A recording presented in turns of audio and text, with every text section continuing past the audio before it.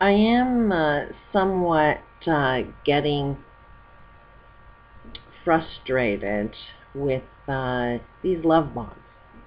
I had gone to somebody's channel that had subscribed to me, and while I was posting a comment on, on their um, post board, I ended up seeing that not too many people involved in my channel are actually getting involved in this love bomb.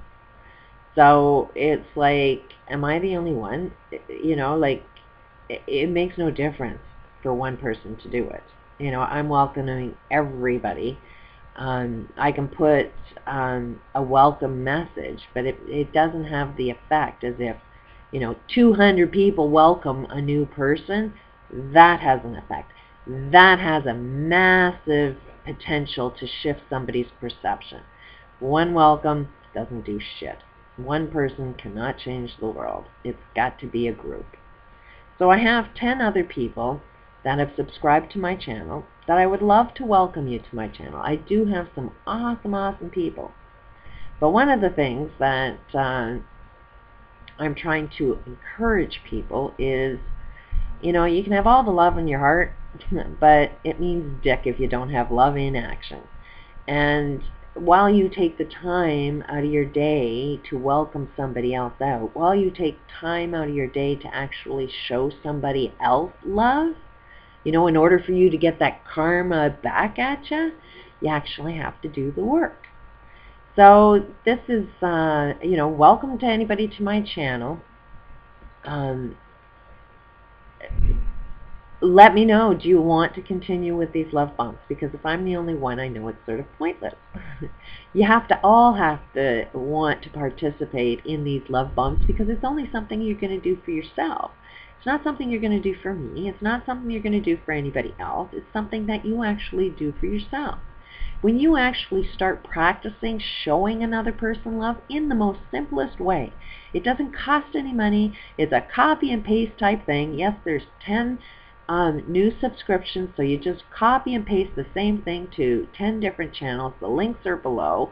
You know, if you can't do that, then you're not ready to receive love. You're not ready to get the karma back to show yourself love. If you can't go and do that for other people, then don't be wondering why nobody's out there loving you back. It's because you're not putting anything out there. It is all about karma. You want to sit there and say the world is doing something to you? No, you are doing something to the universe and like karma is coming back at you. What are you putting out in the world? So, um, I would I would like to see some comments on this particular video that says yes I am participating in these love bombs.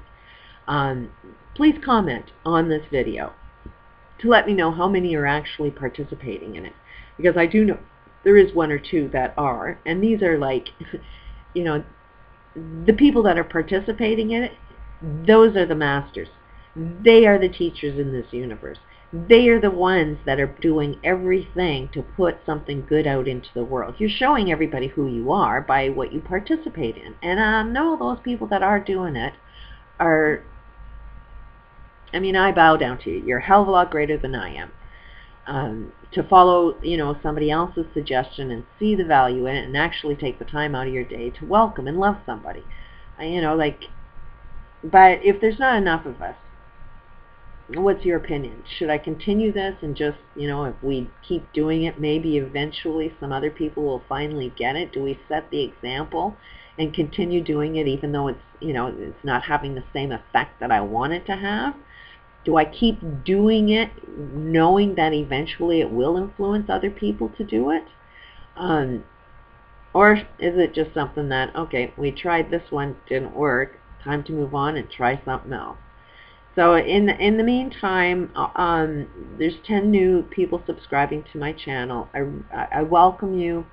Um, post, you know, your opinions, even if they're totally against what I'm saying. The goal of this channel is to help make you think and question. And the more you think and question, the more you're going to come up with your own answers.